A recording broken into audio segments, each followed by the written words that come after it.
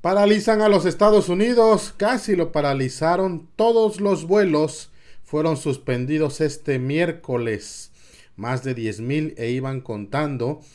Por una falla, el gobierno de Biden no sabe qué fue lo que ocurrió, pero aseguran, ellos dicen que no fue un hackeo, sino que fue una falla interna. Lo cierto es que se les vino abajo el sistema para controlar los aviones y obligaron a todos a aterrizar. Hay desde luego mucha gente varada en un país que se moviliza, una gran parte, por la aviación. Esto podría estar llegando también a Canadá. Hubo una situación similar en Canadá, pero los canadienses sí la lograron controlar. Lo cierto es que la situación esperan que se normalice en los vuelos en Estados Unidos hasta el próximo viernes. Hasta la noche de este martes, de este miércoles, no saben nada.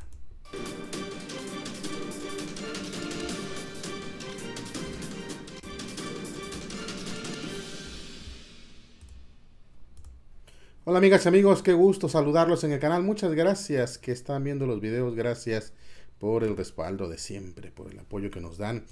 Eh, desde la madrugada del miércoles se empezaron a reportar, bueno, eran las primeras horas, las 6 de la mañana más o menos, la hora del este de los Estados Unidos, se empezó a reportar que todos los vuelos estaban paralizados, no salían vuelos y todos los que estaban, eh, pues fueron para aterrizajes, ordenados a aterrizar.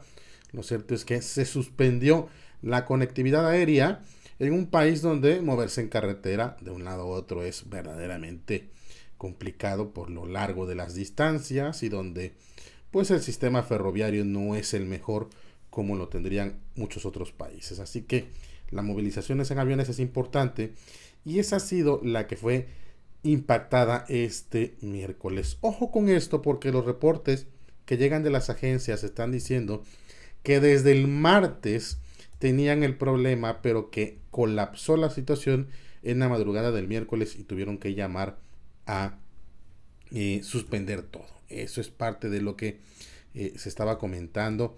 Ahorita veremos, ahorita se los pongo. Tengo aquí también unas declaraciones de Biden que puse. Vamos a ver.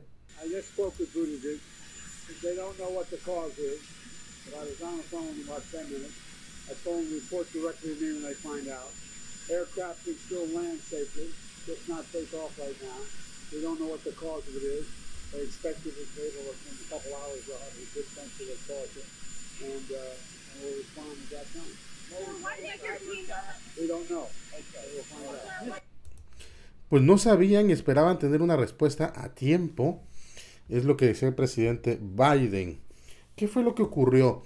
El sector de la aviación pues estaba luchando por volver a la normalidad este miércoles 11 de enero, luego de una parada en tierra a nivel nacional impuesta por la Administración Federal de Aviación por un problema informático supuestamente que obligó a suspender todas las operaciones en Estados Unidos, todos los vuelos, durante 90 minutos. Más de 8.775 vuelos se retrasaron, 1.270 fueron eh, cancelados según FlyAware en una primera puesta a tierra nacional de vuelos en dos décadas. Muchos funcionarios de la industria compararon la puesta a tierra, o sea, esta obligación de que nadie despega, con lo que ocurrió después de los ataques del 11 de septiembre del 2001, hace ya 22 años.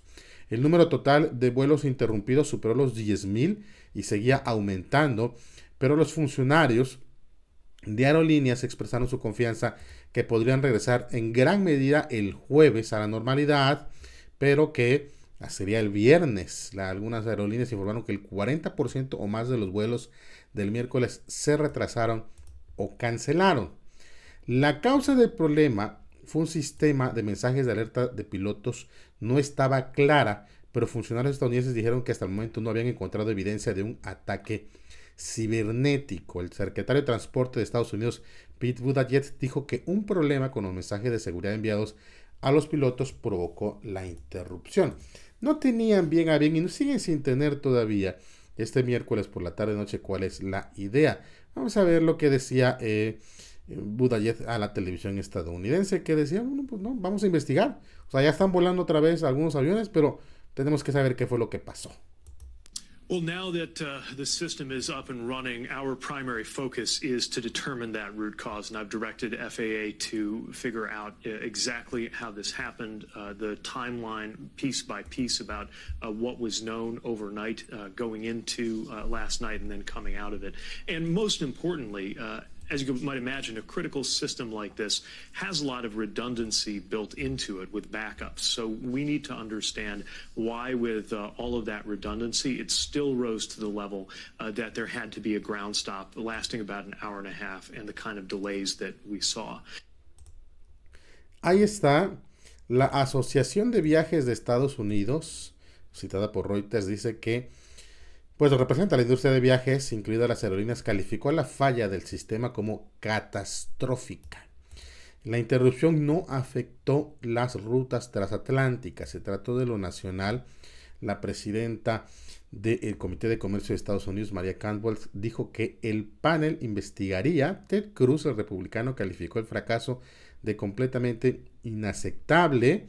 Esto provocó una caída en las acciones de las aerolíneas que se recuperaron para la tarde cuando ya se supo bien a bien que no se trataba de un ataque en contra de los Estados Unidos. Lo interesante aquí es que también contra, contra Canadá ocurrió, pero los canadienses lograron resolver el asunto. Fíjense que el proveedor de servicios de navegación aérea de Canadá, NAV Canadá, también sufrió una breve interrupción de sus sistemas Después de las 10 de la mañana del miércoles, dijo Vanessa Adams, portavoz de NAF Canadá, en un correo electrónico.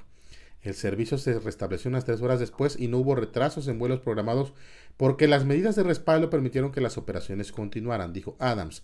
La compañía todavía está investigando qué causó la falla del sistema, pero no creía que estuviera relacionado con la interrupción de los Estados Unidos. Ojo aquí porque lo que ha salido a decir Pete Buttigieg es que eh, Hubo una falla que ellos no saben de dónde vino, todavía la están investigando, desde el martes lo estaban haciendo, cuando colapsó el sistema el miércoles y lo que habría sido el sistema de respaldo, el, respaldo que hay en todos los sistemas, no entró en funcionamiento, no se pudo echar a andar y la decisión final fue suspendan todo. No sabemos qué está pasando, no sabemos por qué ni siquiera nuestro respaldo está funcionando. Luego finalmente el respaldo logró entrar, se empezó a volver a la normalidad pero no estará todo controlado sino hasta jueves o viernes cuando tengan bien a bien la idea de qué ocurrió. Se apresuraron a decir que no fue un hackeo porque sería verdaderamente una eh, noticia preocupante si se llegara a saber que por un motivo de un hackeo semi paralizas a Estados Unidos o por lo menos los vuelos. Verdaderamente historias, a lo largo de todo el día ha habido una cantidad de historias de los retrasos, de los retrasos eh, bueno, las cancelaciones, el caos generalizado que hay en los aeropuertos, no pudieron volar por lo menos durante dos horas y algunos todavía siguen varados a la espera de que se normalice todo, lo cual ocurriría hasta el jueves o viernes. Gracias por estar en este canal, por ver estos videos.